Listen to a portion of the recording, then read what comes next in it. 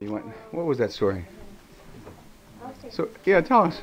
Okay, um, I didn't know what I had, and I went to um, the hospital because I, I was in a lot of pain.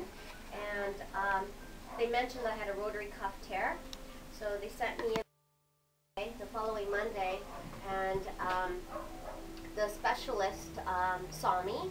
And um, he said to me, "What am I doing here?" And I go, "What do you mean? I have been in pain since June for six months." He goes, "He goes, well, you've got a frozen shoulder." And I go, so how do you take care of this frozen shoulder? He goes, you take anti-inflammatories, you have uh, very intense therapy, and take cortisone shots. And then um, I, I said, well, I'm already doing that, and it's not working for me. And then he goes, well, after two years, what they do is they basically bust your arm. And uh, I just looked at him, and I was really sick everything that I heard.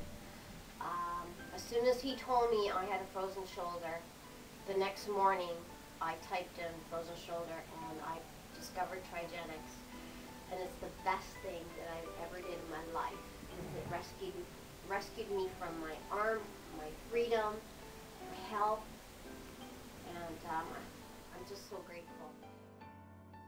Uh, for how long now? It's June. Since June, okay, so that's about six months. Raise the good arm up for me. Keep that now, without bending your body or anything else, just raise the other arm as far as it goes. That's as far as that goes. Okay, we're just about to do the procedure now. Alright.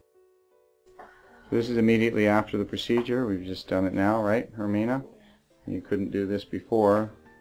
Let's look at it from the other side. That's immediately after the procedure. And you see that you've got your arm up. Are you happy about that? Happy about having your arm back again? Okay.